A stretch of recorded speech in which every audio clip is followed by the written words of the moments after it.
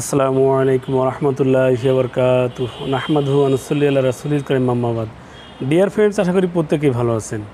আলহামদুলিল্লাহ আমি ভালো আছি।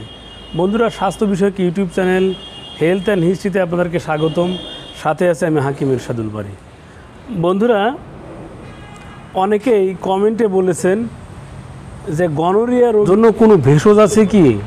বন্ধুরা, গনোরিয়া রোগের ভেষজ, খুব সহজপাত্র একটি ভেষজ রয়েছে। বন্ধুরা, আর তা হচ্ছে তেঁতুল পাতা।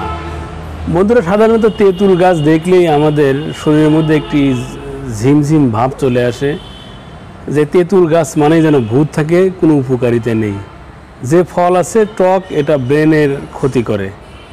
বন্ধুরা, আপনি কি জানেন যে এই পাতার মধ্যেই রয়েছে নাইসেরিয়া, গনোরিয়া, জীবাণুর প্রতিষেধক? বন্ধুরা, এই প্রতিষেধক সেধকটা তৈরি করবেন কীভাবে, আমি সেটিই বলে দিচ্ছি।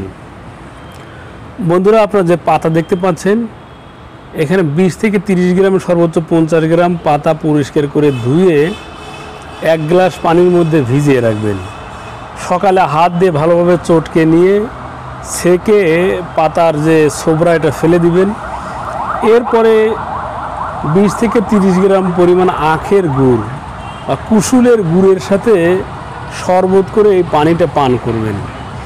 এইভাবে নিয়মিত পান করার ফলে আপনার গনোরিয়ার জীবাণু ধ্বংস হয়ে আপনার প্রস্রাবের নালিতে যে ইনফেকশন হওয়া, পুজের মতো হলুদ বর্ণের পানি বের হওয়া, সেই সাথে কিট কিট করে কামড়ানো, প্রস্রাবের জ্বালা পোড়া, এই সব কিছুর সমাধান হয়ে যাবে ইনশাল্লাহ।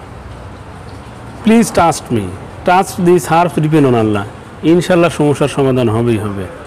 বন্ধুরা এই ছিল আমাদের আজকের আলোচ্য বিষয়। ধন্যবাদ সবাইকে।